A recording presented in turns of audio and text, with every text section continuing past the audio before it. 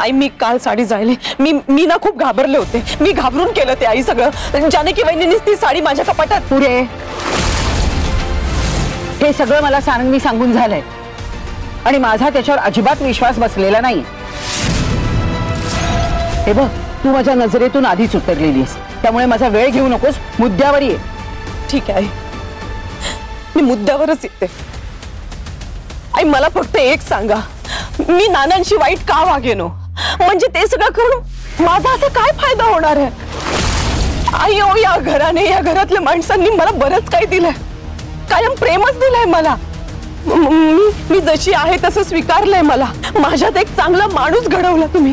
मग माझ्याच या घराची मी का राख रांगोळी करे नाही आई आई तुमची दिशाभूल केली जाते हो. माझी इमेज खराब करून जानकी वहिनी या घरातलं त्यांचं स्थान बळकट करताय कशाला करेल की असं? ती काही तुझ्यासारखी नाहीये. तिला हे असं सगळं करायची काहीही गरज नाहीये. तिचा मान तिचं स्थान या घरातलं कायम अव्वल आहे आणि तसंच राहील. हेच तर नाही. मान. त्यासाठीच चाललंय हे सगळं. जानकी वहिनींना चांगलं त्यांचं या घरात मान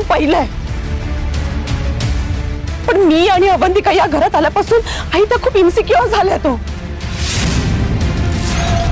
म्हणजे सौमित्र आणि अवंतिकाला कसं गोड गोड बोलून त्यांनी घराबाहेर पाठवलं. आता उरलं मी. आई, जानकी वहिनी स्मार्टली अनाथ सिंपथी कार्ड प्ले करताय आता तर त्यांना सगळं ना की ऋषिकेश दादा पण सॉरी सॉरी आई.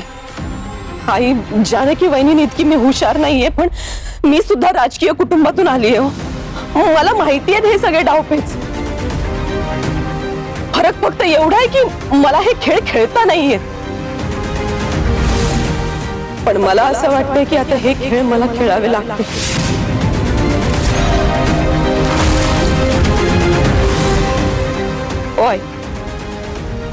कारण माझ्या माणसांना गमावून नाही चालणार.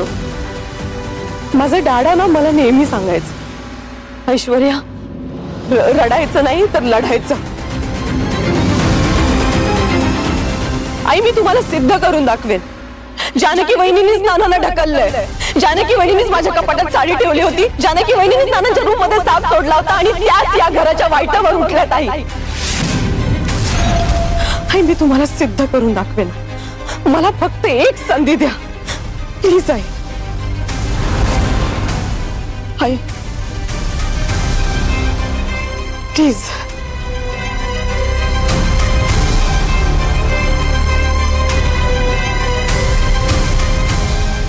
कालपर्यंत मी समजत होते की हे दोन जावांमधलं बालिश भांडण आहे. पण तसं दिसत नाहीये. आणि तुला जर स्वतःला सिद्धच करायचं असेल ना तर बरंच काही पणाला लावावं लागेल ऐश्वर्या. आता ही स्पर्धा तुझी आणि जानकीची. ती जानकी आहे. ती कधीच चुकत नाही. त्यामुळे प्रश्न फक्त तुझा आहे. बोल ऐश्वर्या. तू जर जानकीला खोटं सिद्ध करू शकली नाहीस तर काय हर्षी? काय पणाला लावशील? बोल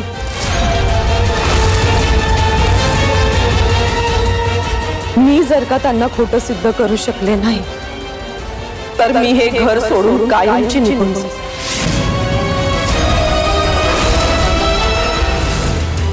ऐश्वर्या.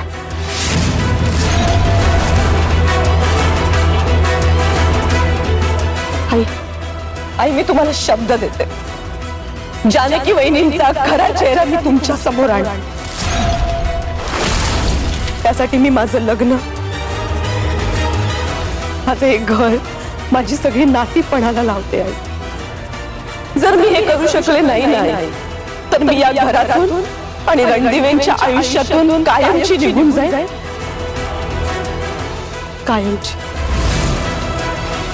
परत कधीच येणार नाही. हा ऐश्वर्या सारंग रणदिवेचा शब्द आहे.